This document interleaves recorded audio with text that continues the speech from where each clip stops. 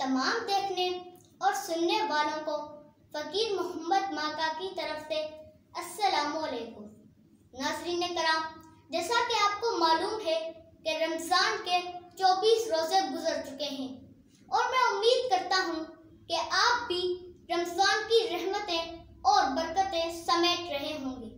नाजरीन कराम, यह वो बरकत महीना है कि जिसके बारे में हमारे प्यारे आका हज़रत मोहम्मद सल्लल्लाहु अलैहि वसल्लम फरमाते हैं कि रमज़ान अल्लाह ताला का महीना है, कि ये वो बरकत महीना है कि इस महीने में अगर आप एक भलाई करते हैं तो वो ऐसे है जैसे आपने एक फरीजा अदा किया। इस महीने में अगर आप एक नफिल अदा करते हैं तो वह ऐसे है जैसे आपने एक फ़र्ज़ अदा किया।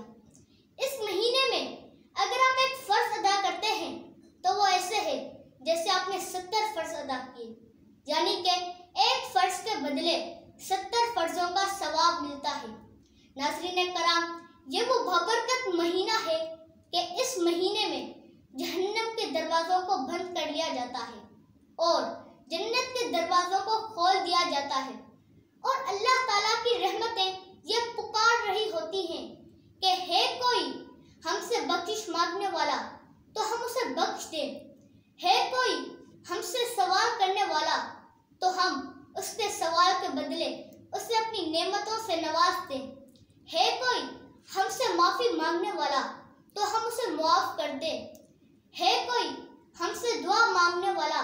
तो हम उसकी दुआ कबूल करें।